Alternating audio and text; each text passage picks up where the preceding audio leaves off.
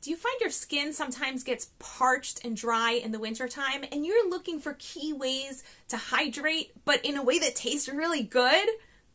I'm Chana Mason, and in this episode of You Don't Know Beans, we're going to be exploring the hydrating and oh so delicious zesty orange.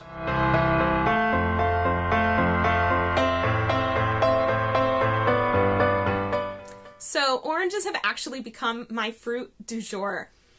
I love the way they smell, I love their color, and recently I've been really enjoying the taste of oranges, which might not seem so bizarre if you know me and you know how much I absolutely love fruit. But if you watched me growing up in the middle of an orange grove in Florida, you would have seen that I had plenty of orange juice, but I never actually picked oranges and just like ate them straight. Um, and for some reason recently, I just got it in my head to start peeling oranges and just eating them by the slice, and I'm absolutely loving it. And one of the things I really like about oranges is that they're so incredibly rich in water. So we have a lot of water rich fruits that are available to us at different times of year. In the summertime, melons like cantaloupe or honeydew or watermelon, or if you're here in Israel, there's like 20 other different kinds of melon that you can buy.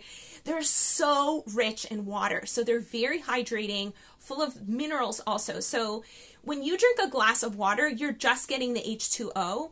But when you sweat or when you speak, you're releasing and what's evaporating from you isn't just water, there's also a lot of minerals and salts coming off of you.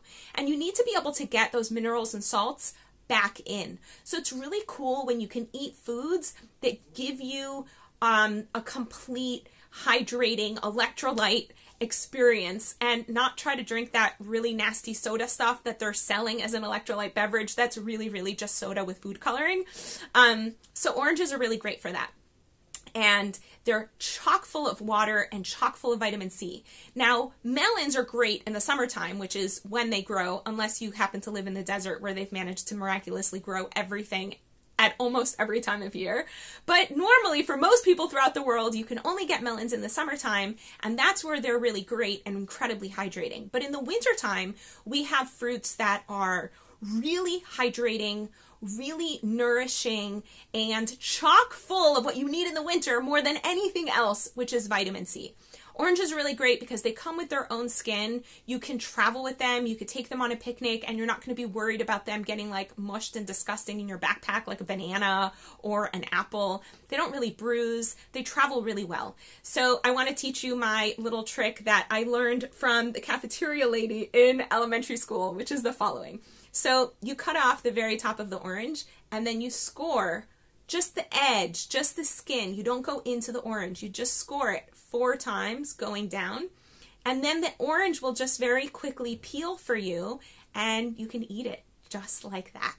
Um, if you want to make a really powerful electrolyte beverage for when you're doing intense exercise like the Jerusalem Marathon, which is coming up in a couple months, what you can do is take an orange, squeeze out its juice, mix that juice with water, honey, salt, uh, particularly a really mineral rich salt like uh, sea salt or Himalayan salt. Himalayan salt is really good for this.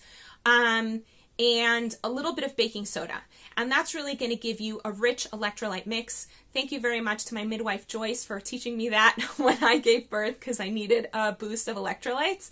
So that's a really great electrolyte drink that you can make for yourself very easily much much cheaper way more, more nutritious and chemical free uh, so that you don't have to go buy that neon blue stuff from the shelf that's actually going to make your body way more acidic and what you want is to get your body way more alkaline, particularly if you've done a lot of exercise. You want to give your body not just minerals and not just hydration, but also the ability to heal and recuperate. And if your body has to process acid, it's going to do the opposite of healing. If you've ever poured acid on something in the outside world or if you've had acid poured onto your skin, you can see how it burns. You don't want to bring acid in. Now, sour foods aren't acidic, right? Sour foods are often alkaline by the time your body's done processing them. So don't worry about that. But um, certain beverages like sodas are really acidic to the body even once you've processed them. It's a nasty stuff. So Hopefully, you learned something about the delicious orange. Hopefully, you'll go out to your store because they're also really cheap and easily accessible just about anywhere in the world bite into your orange, maybe not from the skin, maybe peel it first. And if you're looking to up your vitality game, get in touch with me. We can set up a free discovery session where we can clarify health goals and life goals for you. Uh, make a plan of action for manifesting those goals and giving you the accountability you need to make it all happen. You can get in touch with me here on Facebook or on my website at hanamason.com. In the meantime, wishing everyone many beautiful joys. Want to find out what's blocking your vitality? Quickly take the quiz at hanamason.com slash health quiz.